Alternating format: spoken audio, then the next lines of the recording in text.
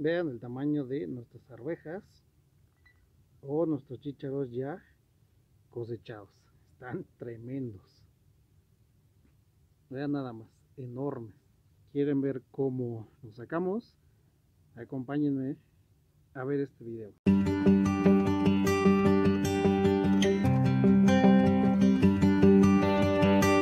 El día de hoy vamos a ver cuándo es el tiempo de cosechar nuestras arvejas o chícharos en México.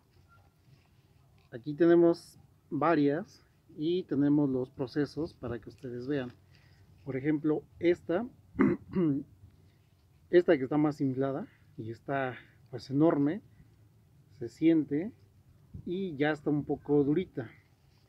Esta igual ya se sienten los granos, ya están, ya están bien formados y ya está estupendo para poderla cosechar.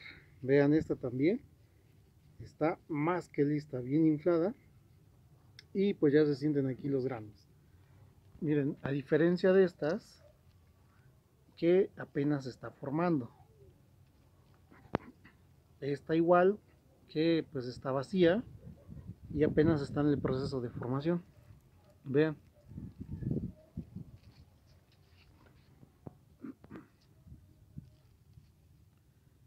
Y vamos a ver esta. Esta ya está lista y la podemos cortar. Así de esta forma. La vamos a abrir y vean esto. Vean nuestras arvejas más que listas. Como ven.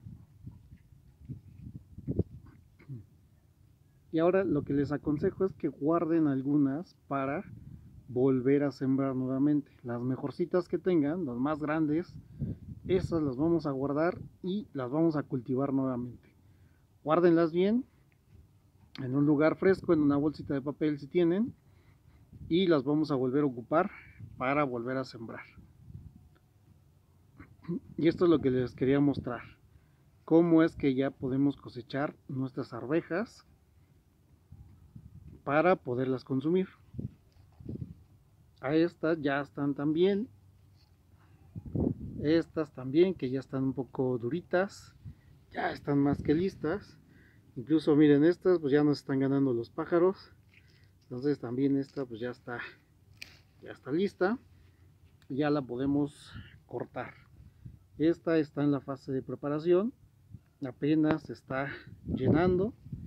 Esta también todavía no está lista, entonces vamos a esperar otro poco más para poderlas cosechar. Y vean, más que lista, bien infladas y vean el tamaño.